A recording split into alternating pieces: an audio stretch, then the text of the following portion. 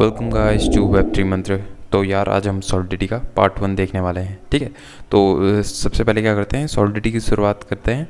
सबसे पहले ओवरव्यू ले लेते हैं सॉलिडिटी का ठीक है? इस वीडियो में क्या बताऊँगा? ओवरव्यू और प्रीरिक्विजिट बताऊँगा सॉलिडिटी के लिए ठीक है? तो सबसे पहले जान लेते हैं सॉलिडिटी क्या है। सॉलिडिटी uh, हमारी यार एक ऑब्जेक्ट ओरिएंटेड कह लो या कॉन्ट्रैक्ट ओरिएंटेड कह लो प्रोग्रामिंग लैंग्वेज है स्टैटिकली टाइप्ड स्टैटिकली टाइप मतलब हमें यार इसमें जो टाइप रहते हैं वो डिफाइन करने पड़ते हैं खुद से स्टैटिकली ठीक है? और क्या है सिंटैक्स इसके हैं जो सिंटैक्स पाइथन जावास्क्रिप्ट और सी प्लस प्लस के काफ़ी सिमिलियर हैं। अगर आपने कोड किया है तो सिंटैक्स काफ़ी सिमिलियर है आपको आसानी होगी इससे ठीक है? और ये बनी गई है इथीरियम वर्चुअल मशीन में चलने के लिए। इथीरियम वर्चुअल मशीन में आपको बताता हूँ अभी ठीक है? उससे पहले हम्म, ये मैंने आपको पॉइंट बता दिया है कि सॉलिडिटी हमारा क्या है स्टैटिकली टाइप प्रोग्रामिंग लैंग्वेज है। तो ये सॉलिडिटी की बात होगी यार सॉलिडिटी यूज़ क्यों करते हैं हम? सॉलिडिटी हम यूज़ करते हैं स्मार्ट कॉन्ट्रैक्ट्स लिखने के लिए। और स्मार्ट कॉन्ट्रैक्ट्स क्या होते हैं हमारे? तो स्मार्ट कॉन्ट्रैक्ट हमारे वो होते हैं यार जो ब्लॉकचेन में रन होते हैं प्रोग्राम्स ठीक है? और उनके बीच में कोई इंटरमीडिएटरी नहीं होता है, वो ऑटो एग्जीक्यूटिंग होते हैं, ठीक है? कंडीशनली ऑटो एग्जीक्यूटिंग कॉन्ट्रैक्ट होते हैं। तो क्योंकि हम कोड लिखेंगे तो सारा कुछ एक बार हम डिप्लॉय करेंगे, सारा कुछ जो आउटकम्स आएँगे वो खुद से आएँगे, ठीक है? जैसे मान लो यार ट्रेडिंग की बात है, अभी के टाइम में क्या होता है, अगर अभी आप कोई स्टॉक ट्रेड करते हो तो बीच में इंटरमीडिएटरी कौन हो गया? ब्रोकर और आपके बीच में इंटरमीडिएटरी है सेबी ठीक है? अगर आप ट्रेड करते हो तो बीच में सेबी का रोल रहता है एन एस ठीक है? लेकिन जो स्मार्ट कॉन्ट्रैक्ट की कहानी है, ये इसीलिए है क्योंकि इनके बीच में कोई इंटरमीडिएटरी नहीं है डिसेंट्रलाइज्ड वेब ठीक है? इसी के फ़ायदे हैं यार, इसीलिए हम इथीरियम यूज़ कर रहे हैं, है ना? तो स्मार्ट कॉन्ट्रैक्ट इन्हें कहते हैं हम, आप समझ के होंगे आई होप आप पढ़ लीजिए, जो मैंने यहाँ पर लिखा है उसको पढ़ लीजिए, ज़्यादा क्लियर हो जाएँगे, ठीक है? और स्मार्ट कॉन्ट्रैक्ट की बात कर दी हमने। उसके बाद आते हैं इथीरियम वर्चुअल मशीन अभी इसके बारे में बात कर रहा था मैं। इथीरियम वर्चुअल मशीन क्या होता है यार हमारा? ठीक है, जब हम कोड लिखेंगे, हम स्मार्ट कॉन्ट्रैक्ट लिखेंगे तो कहीं तो उसे जाना पड़ेगा। और इथीरियम आपको पता है क्या है? डिसेंट्रलाइज नेटवर्क है। डिसेंट्रलाइज नेटवर्क मतलब कहीं एक जगह स्टोर है नहीं। वो बहुत सारी नोड चल रही हैं इथीरियम में। ठीक है? तो उनमें क्या होता है? वर्चुअल मशीन होती है हमारी। उनमें क्लाइंट्स रहते हैं वर्चुअल मशीन हम इसे कहते हैं, जिसमें आप सिस्टम के ऊपर बेसिकली सिस्टम ही रन कर रहे हो। जैसे कि आप अगर काली लिनक्स या कोई भी दूसरा लाइनक्स अपने ऑपरेटिंग सिस्टम में इंस्टॉल करते हैं तो आप वर्चुअल बॉक्स का यूज़ करते हैं बाय डिफ़ॉल्ट ठीक है? अगर आप विंडोज़ में ही, जैसे विंडोज़ आपका ऑपरेटिंग सिस्टम है पहले से, ठीक है? उसी में आप लिनक्स भी चलाना चाहते हैं तो आपको virtual system virtual box download करना पड़ता है, ठीक है? बेसिकली वर्चुअल मशीन रहता है।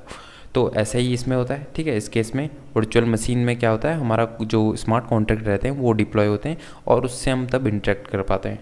तो यही आपका वर्चुअल मशीन है इथीरियम वर्चुअल मशीन कुछ और जानने की ज़रूरत है नहीं इसमें फ़िलहाल, ठीक है?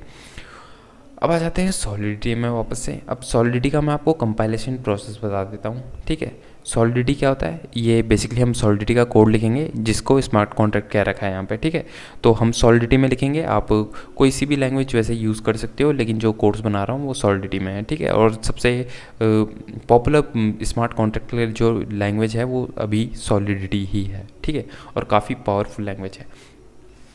तो हम लिखेंगे स्मार्ट कॉन्ट्रैक्ट सॉलिडिटी कंपाइलर के थ्रू हम इसे कंपाइल करेंगे, ठीक है? और ये कोड जो हम लिखेंगे, ये कंपाइल होकर दो चीज़ में डिवाइड हो जाएगा।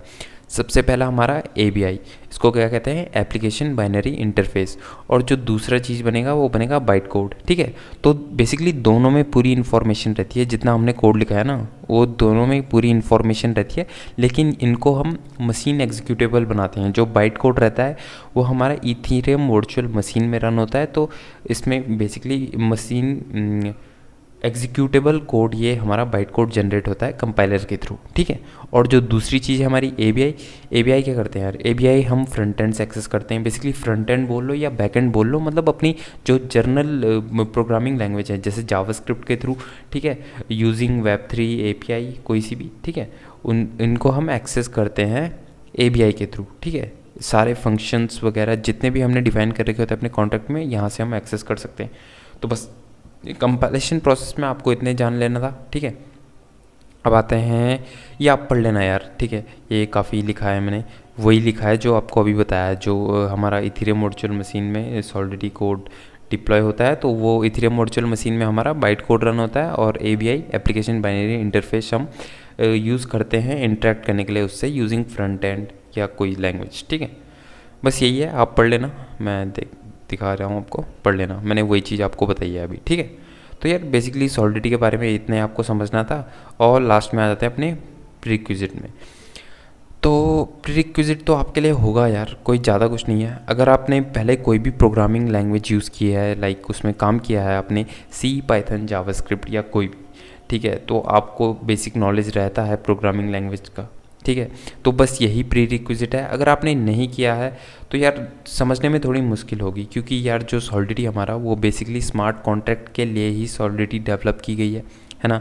क्योंकि वो स्मार्ट कॉन्ट्रैक्ट ही लैंग्वेज है, और जो जनरल जनरल यूज़ हमारे लैंग्वेज होते हैं, उनमें आपको फंडामेंटल यार कंसेप्ट सीखना बहुत ज़रूरी होता है। ठीक है? वैसे मैं कोर्स में, ऐसा कोर्स सीख, समझाने की कोशिश करूँगा कि जो बिगिनियर होगा, बिल्कुल, जिसने कोई भी लैंग्वेज नहीं किया है, उसको भी समझ आ जाए, पूरी कोशिश करूँगा मैं अपनी तरफ़ से। लेकिन फिर भी यार बेनिफिशियल यही रहता है, अगर आप पहले कोई और लैंग्वेज आप, आपको आती है या आपने थोड़ा बहुत भी काम किया है तो आपको बेसिक आइडिया लग जाएगा सॉलिडिटी का, ठीक है? तो बाकी तो मैं सिखाने वाला हूँ, ऐसी कोई दिक्कत की बात नहीं है। अगर की हुए हैं पहले से तो काफ़ी अच्छा है, ठीक है? तो यार सॉलिडिटी ओवरव्यू में इतना ही था। हमने कंपाइलेशन की बात कर दी है, हमने इथेरियम वर्चुअल मशीन की बात की है, हमने स्मार्ट कॉन्ट्रैक्ट्स की बात की है और सो ओवरव्यू तो देख लिया है सॉलिडिटी की डेफिनेशन बाकी यार जो हम, ठीक है, जब कोड लिखना स्टार्ट करेंगे वहाँ पे कोई नई चीज़ आती है या वहाँ पे भी मैं समझाता चला चलूँगा, ठीक है? समझाता चलूँगा मैं साथ साथ में क्योंकि ऐसे में हो सकता है आपके दिमाग से उतर जाए, लेकिन मैं खाली बताने के लिए कर रहा था ये। उसके बाद मैं समझाता रहूँगा, आपको बिल्कुल समझ आएगा, आप बस सीरीज़ कंटिन्यू कीजिए, ठीक है? तो पार्ट वन में इतना था, thank you for watching this video, guys.